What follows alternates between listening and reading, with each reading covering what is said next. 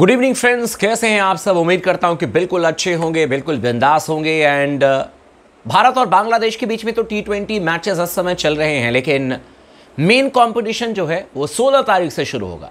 यानी कि भारत बनाम न्यूजीलैंड के बीच में। और टेस्ट मैच है, न्यूजीलैंड के खिलाफ तीन मुकाबले खेले जाएँगे। इस मुकाबले की शुरुआत 16 तारीख को होगी। दूसरा टेस्ट मैच जो है, वो 24 तारीख से खेला जाएगा। और तीसरा और आखिरी टेस्ट मैच जो है, वो खेला जाएगा एक नवंबर से लेकर के पाँच नवंबर के बीच में। और उसके बाद फिर भारतीय टीम टेस्ट मैचेस के हिसाब से पाँच टेस्ट मैच खेलने के लिए ऑस्ट्रेलिया चली जाएगी। हालाँकि, जब आपका न्यूजीलैंड के खिलाफ में टेस्ट मैच खत्म होगा और ऑस्ट्रेलियाई दौरे की शुरुआत होगी, उससे ठीक पहले भारतीय टीम इन दोनों के बीच में चार टी ट्वेंटी मैचेस भी खेलेगी साउथ अफ्रीका में। लेकिन इस समय हम टेस्ट मैचेस पर ध्यान दे रहे हैं, टेस्ट मैचेस के बारे में चर्चा कर रहे हैं। और भारतीय टीम का सिलेक्शन हो चुका है मान करके चले, पंद्रह खिलाड़ी जो हैं वो ऑलमोस्ट तय कर दिए गए हैं। जो कि न्यूजीलैंड के खिलाफ में आपको खेलते हुए दिखेंगे। एक नाम को लेकर के ज़रूर चर्चा चल रही है। हो सकता है कि रिप्लेसमेंट आपको दिखे उस नाम पर, लेकिन पंद्रह खिलाड़ी बिल्कुल पक्के कर दिए गए हैं। तो न्यूजीलैंड के खिलाफ में जो टेस्ट मैच है तीन, उसमें कौन से वो पंद्रह नाम है जो ऑलमोस्ट पक्के हैं? टीम का ऐलान भी बहुत जल्दी कर दिया जाएगा, लेकिन सिलेक्शन आप मान करके चले कि हो चुका है और ये पंद्रह नाम भी तय कर दिए गए हैं। तो इन पंद्रह नामों के बारे में चर्चा करेंगे और साथ ही साथ एक नाम जिसको लेकर के लगातार चर्चा हो रही है, स्टार गेंदबाज हो सकता है कि बाहर हो जाए, उनकी जगह पर किसी युवा को मौका मिले। लेकिन, इन डिटेल में चर्चा करते हैं, लेकिन आप सभी दोस्तों से रिक्वेस्ट है, चैनल को ज़रूर सब्सक्राइब कर दीजिएगा। अगर आपने नहीं किया है तो वीडियो को भी लाइक कर लीजिएगा और कौन से शहर से, कौन से गाँव से आप इस वीडियो को देख रहे हैं, आप हमें कॉमेंट करके ज़रूर बताइएगा।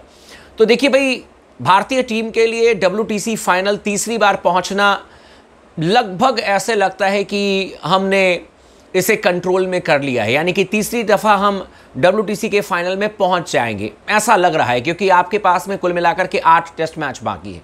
तीन न्यूजीलैंड के खिलाफ में और पाँच ऑस्ट्रेलिया के खिलाफ में।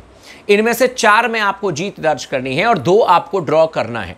न्यूजीलैंड के खिलाफ में जो तीनों टेस्ट मैच होंगे, वो तीनों हमारे लिए बहुत महत्वपूर्ण होने वाले हैं। एक टेस्ट मैच पुणे में होगा, एक मुंबई में होगा और एक टेस्ट मैच मेरे ख्याल से हैदराबाद में या फिर बेंगलुरु में एक टेस्ट मैच है। और तीनों टेस्ट मैच भारतीय टीम के लिए जीत दर्ज करना काफ़ी महत्वपूर्ण है। इसमें टीम इंडिया बिल्कुल भी कहीं कोताही नहीं बरतेगी। तो भारतीय टीम जो पंद्रह नाम को लेकर के जो कहा जा रहा है कि एकदम कन्फर्म्ड है, वो एक एक करके हम चर्चा करते हैं कि कौन कौन से खिलाड़ी आपको खेलते हुए दिखेंगे।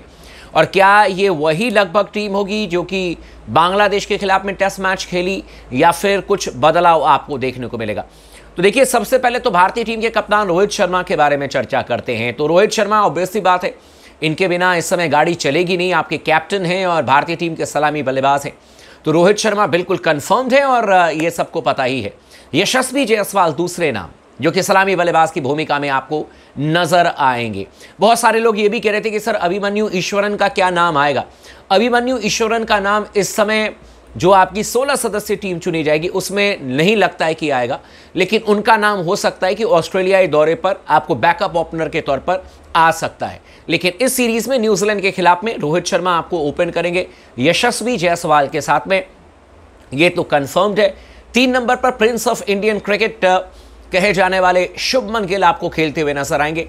और मैं कोई बैटिंग लाइनअप के तौर पर नहीं बता रहा हूँ, मैं पहले बल्लेबाज कौन कौन से खेलेंगे वो मैं बता देता हूँ, फिर आपको ऑलराउंडर बता दूँगा विकेट कीपर बता दूँगा स्पिनर और आपको तेज गेंदबाज। तो इस समय कुल मिलाकर के तीन बल्लेबाजों का हमने नाम लिया है, रोहित शर्मा, यशस्वी जायसवाल, इसके अलावा आपके शुभमन गिल। इसके अलावा आपके चार नंबर पर विराट कोहली होंगे और बैटिंग लाइनअप में भी इसी तरीके से ये लोग खेलते हैं। तो चार नंबर पर किंग कोहली खेलेंगे, इनके बल्ले से रन आना काफ़ी ज़रूरी है, बट मुझे पूरा विश्वास है कि न्यूजीलैंड के खिलाफ में आपको इनका शतक ज़रूर देखने को मिलेगा।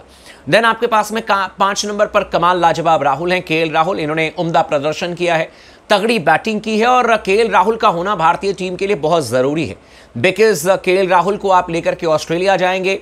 अब तक जो आठ शतक लगाए हैं, उसमें से सात शतक के राहुल के देश के बाहर हैं। तो इनका रोल बहुत महत्वपूर्ण होगा और हम लोग यही चाहेंगे कि एक अच्छे रिदम में, एक अच्छे शेप में के राहुल अगर ऑस्ट्रेलिया जाएँ तो एक अलग किस्म का इम्पैक्ट क्रिएट कर सकते हैं। ये एक ऐसे बल्लेबाज हैं, अगर अपने लय में हो तो दुनिया की किसी भी गेंदबाजी लाइनअप को। चौंका सकते हैं। बड़े तगड़े मतलब बल्लेबाज हैं अपने दिन पर। और ये हमने सेंचुरियन में दो दफ़ा देखा है। साउथ अफ्रीका के दौरे पर दो बार हम गए 2022 में 2024 में, और दोनों दफ़ा इनका शतक आया है। इसके अलावा आपके छठे बल्लेबाज के तौर पर सरफराज खान होंगे। अब इनको प्लेइंग इलेवन में तो ऑब्वियस सी बात है कि अभी मौका नहीं मिलेगा, लेकिन सरफराज खान आपके स्क्वाड में 100 परसेंट होंगे। और क्या डबल हंड्रेड अभी ईरानी ट्रॉफी में सरफराज ने लगाई है। इसके अलावा तेज गेंदबाजों पर चर्चा कर लेते हैं। जसप्रीत बुमराह बिल्कुल कंफर्म नाम है। भारतीय टीम के सबसे बड़े मैच विनर जसप्रीत बुमराह के बिना गाड़ी अपनी चलेगी नहीं। मोहम्मद सिराज का होना बिल्कुल तय है, ये भी आपको खेलते हुए दिखेंगे। आकाशदीप बहुत इंप्रेस इन्होंने किया, बहुत प्रभावित किया तमाम चयनकर्ताओं को जब तमाम फैंस को और रोहित शर्मा को, कप्तान को। जब जब विकेट की तलाश थी, रोहित शर्मा ने जब जब इन पर भरोसा किया, इन्होंने विकेट निकाला है। तो जसप्रीत बुमराह हैं, मोहम्मद सिराज हैं, आकाशदीप है, आपके पास में तीन फ्रंट लाइट फ्रंट लाइन तगड़े गेंदबाज हैं जो कि विकेट टेकर हैं। तो ये तीन हो गए। इसके अलावा आपके पास में यश दयाल है। अब यहाँ पर थोड़ी सी पेंच जो है, वो फंसती हुई नज़र आ रही है। आप बाएँ हाथ के तेज गेंदबाज के साथ में जाना चाहेंगे तो यश दयाल ने कुछ भी ऐसा गलत नहीं किया कि आप उनको टीम से ड्रॉप कर दें।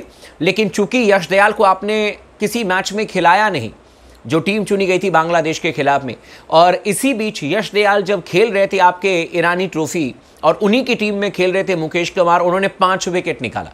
तो यहाँ पर पेच जो है वो फंसती हुई नज़र आ रही है। यहाँ पर चयनकर्ताओं को डिसाइड करना पड़ेगा कि यश दयाल को लेकर के जाए, जिनको कि बांग्लादेश के खिलाफ में आपने दो मैचेस में टीम में रखा था, लेकिन ऑब्वियसली बात है वो नहीं खेले डेब्यू नहीं कर पाए, या आप मुकेश को लेकर के जाएँ। ये दोनों में से किसी एक का सिलेक्शन होगा। इसीलिए मैंने कहा कि पंद्रह नाम पक्के हैं।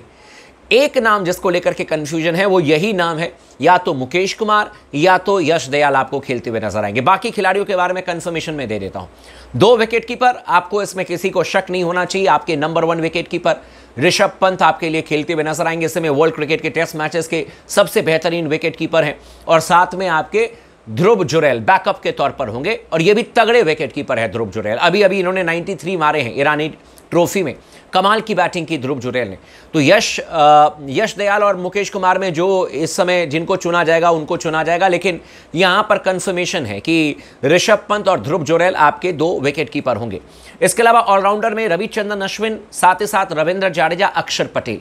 ये तीनों का नाम कंफर्म्ड है, इसमें किसी को कोई डाउट नहीं होना चाहिए। तीनों आपके वर्ल्ड क्लास ऑलराउंडर हैं अपने घर में खेलते हुए। इनसे बेहतर आपके पास में कोई ऑलराउंडर है नहीं। और एक स्पिनर के तौर पर, हालाँकि ये तीनों ही स्पिनर हैं, और पाँच पाँच सौ विकेट ले चुके हैं। रविचंद्रन अश्विन तीन सौ विकेट जाडेजा के नाम है। लेकिन अगर स्पिनर की मैं बात करूँ, कोटे से स्पिनर कोटे से जो खेलते हुए नज़र आएँगे, वो कुलदीप यादव हैं। इनका भी भारतीय टीम में न्यूजीलैंड के खिलाफ में चयन जो है, वो कन्फर्म्ड होगा। तो मैं एक बार टीम बता देता हूँ। रोहित शर्मा, यशस्वी जायसवाल, शुभमन गिल, विराट कोहली के राहुल, सरफराज खान, जसप्रीत बुमराह, मोहम्मद सिराज, आकाशदीप। और एक नाम का जो कंफ्यूजन है वो यही है कि यश दयाल या मुकेश कुमार में से किसी एक को लिया जाएगा। बाकी ऋषभ पंत कंफर्म्ड है, ध्रुव जुरैल कंफर्म्ड है इसके अलावा रविचंद्रन अश्विन, अक्षर पटेल, रविंद्र जाडेजा एंड कुलदीप यादव। ये तमाम नाम कंफर्म्ड हैं, लेकिन एक नाम को लेकर के जो कंफ्यूजन है, जैसे मैंने आपको कहा, या तो यश दयाल के साथ में कंटिन्यू किया जाएगा, या फिर मुकेश कुमार की एंट्री हो सकती है। तो आप लोग भी अपनी बेस्ट टीम बताइएगा स्क्वाड बताइएगा न्यूजीलैंड के खिलाफ में बहुत जल्दी इसका ऐलान भी कर दिया जाएगा। बाकी ये टीम आपको कैसे लगी, आप हमें कमेंट करके ज़रूर बताएगा चैनल को भी ज़रूर सब्सक्राइब कर लीजिएगा दोस्तों।